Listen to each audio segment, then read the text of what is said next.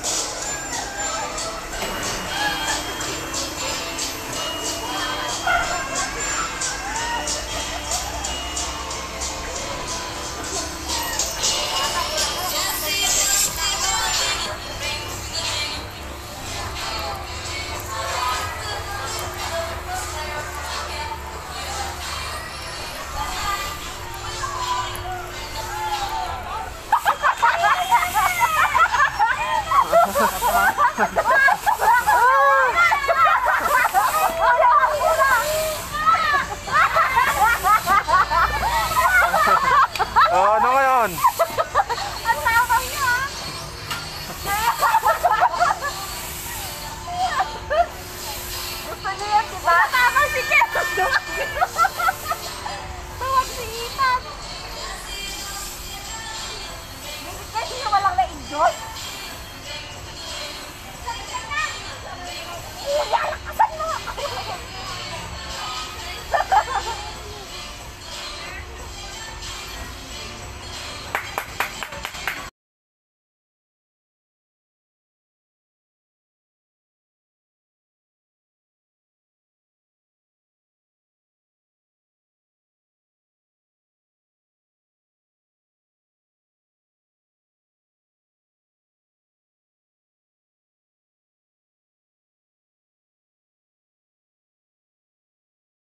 Mga kabaklang to. Dito na tayo ngayon. Sa Digital tayo ngayon. Sama ako. Tayo tayo ngayon. Okay. Ayan. Yay! Yan, mga kabaklan to. Oh. Yay! Yay! Yan oh. Chut, chut! Tata. Paingat ka rin Tayo na. oh. Yan. Dito tayo ngayon. Ah, lumayo mo. Sige papa. Yan, mga kabaklan to. oh. Yan. Let's go, mga kabaklan to. Yan oh. Hey, yo! Hey Joe! Ano tayo? At yun sa baba.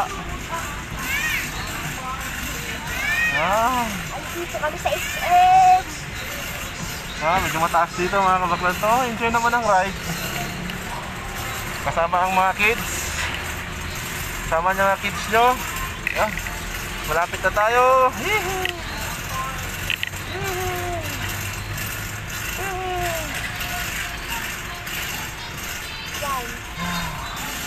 Yan o.